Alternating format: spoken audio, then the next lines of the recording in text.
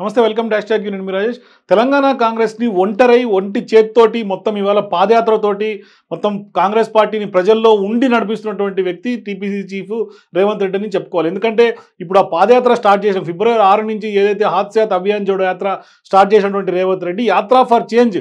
నిజంగానే ఆ వస్తున్నటువంటి రెస్పాన్స్ చూస్తే నిజంగానే చేంజ్ వస్తుందేమో అని ఒక వేవ్ క్రియేట్ అయిన తెలంగాణ రాజకీయాల్లో పెద్ద ఎత్తున ఇవాళ రేవంత్ రెడ్డి పాదయాత్ర గురించి ఇతర పార్టీ నేతలు అలాగే సొంత పార్టీ నేతలు కూడా చర్చించుకునేటువంటి పరిస్థితి. మొత్తం పార్టీ క్యాడర్ నుంచి పార్టీ అధిష్టానం వరకు కూడా ఖచ్చితంగా రేవంత్ రెడ్డి ఒక్కడే ఇవాళ కేసీఆర్తో కొట్లాడే వ్యక్తి లేదా కొట్లాడే దమ్మున్నటువంటి వ్యక్తి రేవంత్ రెడ్డి అనేది ఖచ్చితంగా ఇవాళ అధిష్టానం. మరోవైపు కాంగ్రెస్ పార్టీ క్యాడర్ అలాగే కాంగ్రెస్ పార్టీ కార్యకర్తలందరూ కూడా ఇవాళ రేవంత్ రెడ్డి ఒక్కడే ఖచ్చితంగా కేసీఆర్కి ధీటైనటువంటి కొట్లాడే ఏకైక రాజకీయ నాయకుడు రేవంత్ రెడ్డి అనేది మాత్రం ఖచ్చితంగా ఇవాళ క్యాడర్ అందరూ కూడా నమ్ముతున్నటువంటి నేపథ్యంలో ఇవాళ రేవంత్ రెడ్డి తమ అభిమాన నాయకుడు తమ తమ గ్రామాలకు కానీ తమ నియోజకవర్గాలు కానీ వస్తున్నారు అంటే ఖచ్చితంగా ఇవాళ రేవంత్ రెడ్డి పాదయాత్రలో స్వచ్ఛందంగా వస్తున్నటువంటి ప్రజలు చూస్తే ఖచ్చితంగా ఇటు బీఆర్ఎస్ పార్టీ నేతలకి బీజేపీ నేతలకు కూడా వెన్నులో వణుకు పుట్టాల్సిందే ఖచ్చితంగా. ఎందుకంటే అంత క్రౌడ్ మొబిలైజ్ చేయకుండానే అంతమంది రావడం మరోవైపు తమ అభిమాన నేత వస్తున్నాడు అంటే వాళ్ళ కష్టాలు చెప్పుకోవడానికి ముందుకు రావడం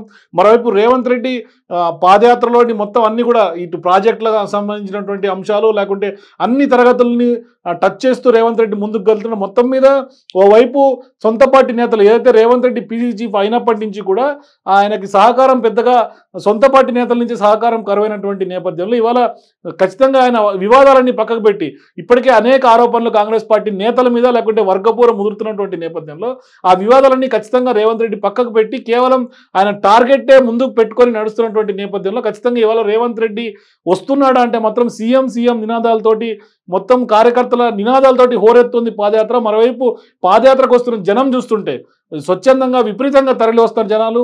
మరోవైపు రేవంత్ రెడ్డి కోసం కష్టాలు చెప్పుకోవడానికి ముందుకు వస్తున్నారు. ఓవైపు కాంగ్రెస్ పార్టీలో రేవ సీఎం అభ్యర్థి రేవంత్ రెడ్డి అని ప్రకటించినప్పటికీ కూడా ప్రజలే ఖచ్చితంగా తమ రేవంత్ రెడ్డిలో సీఎంను చూసుకొని ఇప్పటి నుంచే సీఎం సీఎం నినాదాలతోటి హోరెత్తిస్తున్నారు. మరోవైపు గతంలో చేసినటువంటి కాంగ్రెస్ పార్టీ చేసినటువంటి అభివృద్ధి ఖచ్చితంగా ఇవాళ జనాల్లోకి తీసుకెళ్ళే విధంగా రేవంత్ వ్యూహాత్మకంగా మరోవైపు టీఆర్ఎస్ పార్టీ చేసినటువంటి అరాచకాలని అలాగే కేసీఆర్ చేసినటువంటి తప్పిదాలని ఖచ్చితంగా ఇవాళ ప్రజల్లో క్వశ్చన్ చేస్తూ ముందుకు కదులుతున్నటువంటి పరిస్థితి మనకు కనిపిస్తుంది.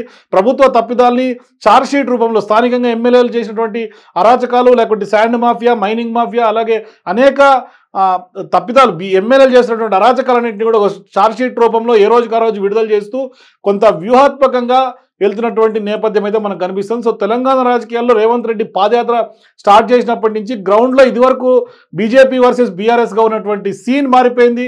ఇవాళ త్రిముఖ పోటీ అని కూడా చెప్పే పరిస్థితి లేదు. ఎందుకంటే బీజేపీ పార్టీ ఒక్కసారిగా చేరికలాగిపోయాయి మరోవైపు బీజేపీ పార్టీ తూతుమంత్రంగానే తూతూ మంత్రంగానే కార్యక్రమాలు చేస్తున్నారు. మరోవైపు కార్నర్ మీటింగులు చేసినప్పటికి కూడా పెద్దగా ప్రభావితం చూపినటువంటి దాదాపుగా పదకొండు వేల కార్నర్ మీటింగులు జరుగుతున్నప్పటికి కూడా పెద్దగా ఆశించిన మేర రిజల్ట్స్ రానటువంటి నేపథ్యంలో రేవంత్ రెడ్డి పాదయాత్ర అయితే మాత్రం అనూహ్యంగా ఆ, ప్రజల్లో ఒక వేవ్ క్రియేట్ చేయడం అనేది మాత్రం వాస్తవంగా చెప్పుకోవాలి. ఎందుకంటే మనం చూస్తున్నాం స్వయంగా హ్యాష్ ట్యాగ్ టీమ్స్ కూడా రేవంత్ రెడ్డి పాదయాత్రలో తిరిగింది. మరోవైపు అనేక మీడియా సంస్థలు జర్నలిస్టులు అలాగే ఇతర సంఘాల నేతలు మరోవైపు సింగరేణి కార్మికుల సమస్యలకు సంబంధించి రేవంత్ రెడ్డి హామీలు మరోవైపు అధికారంలోకి వచ్చిన తర్వాత రేవంత్ రెడ్డి కానీ లేకుంటే కాంగ్రెస్ పార్టీ అధికారంలోకి వస్తే ఏం చేస్తుందో చెప్తూ వెళ్తున్నటువంటి పరిస్థితి. ఆరోగ్య బీమా కానీ లేకుంటే ఇతరత్ర హామీలు అయితే కూడా అన్ని చెప్తూ వెళ్తున్నటువంటి నేపథ్యంలో ఇవాళ నిజంగానే ఖచ్చితంగా బీఆర్ఎస్ పార్టీ నేతలకైతే మాత్రం ఖచ్చితంగా వెన్నులో ఉను వణుకు పుడుతుంది. సో మొత్తంగా రేవంత్ రెడ్డి పాదయాత్ర స్టార్ట్ అయినప్పటి నుంచి ఖచ్చితంగా బీఆర్ఎస్ పార్టీ నేతలకి బీఆర్ఎస్ పార్టీ ఎమ్మెల్యేలకు మాత్రం వెన్నులో వణుకు పుడుతున్నటువంటి నేపథ్యం. దానికి బేస్ చేసుకొని తాజాగా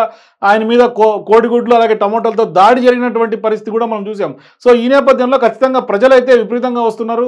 వచ్చినటువంటి ప్రజలు ఏ విధంగా రేవంత్ రెడ్డి స్వీకరిస్తారో మరోవైపు ఇవాళ కాంగ్రెస్ పార్టీకి అయితే మాత్రం ఖచ్చితంగా ఎంతమంది సీనియర్ నేతలు ఉన్నప్పుడు కూడా రేవంత్ రెడ్డి ఒక్కడే హోపు. ఖచ్చితంగా ఇటీవల ఒక మీడియా ఇంటర్వ్యూతో కూడా రేవంత్ రెడ్డి మాట్లాడుతూ ఖచ్చితంగా అధిష్టానం మమ్మల్ని నన్ను గుర్తించే ఖచ్చితంగా కేసీఆర్తో కొట్లాడాలనే ఉద్దేశంతో రేవంత్ రెడ్డికి పిసిసి పదవి ఇచ్చారు అని కూడా ఆయన చెప్పినటువంటి నేపథ్యం.